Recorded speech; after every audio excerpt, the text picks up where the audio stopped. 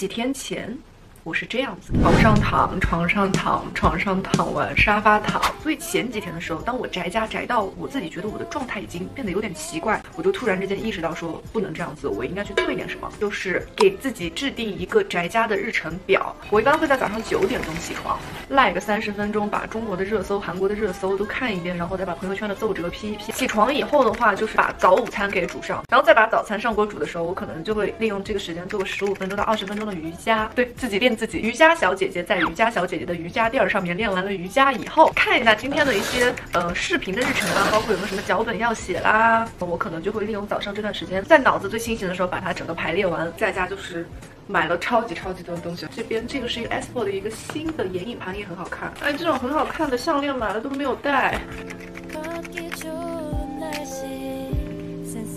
我接下来的时间基本上就会用来运，然后运动完了以后就是洗澡。我最近看的书有好多，就是睡前会看的。它是我一个朋友写的两本诗，一本叫做《我在十二点煮了一包泡面》，还有一本书呢，就是我不小心说出了我的真心话。就这两本书啊，就它里面有很多很浪漫的小故事，少女心都起来了吧？就半夜突然之间起少女心，不是一件什么太好的事情。好吧，我的废话有点多，希望这期视频对大家还有帮助，以及我们都要好好的吃饭。好好的加油，照顾好自己。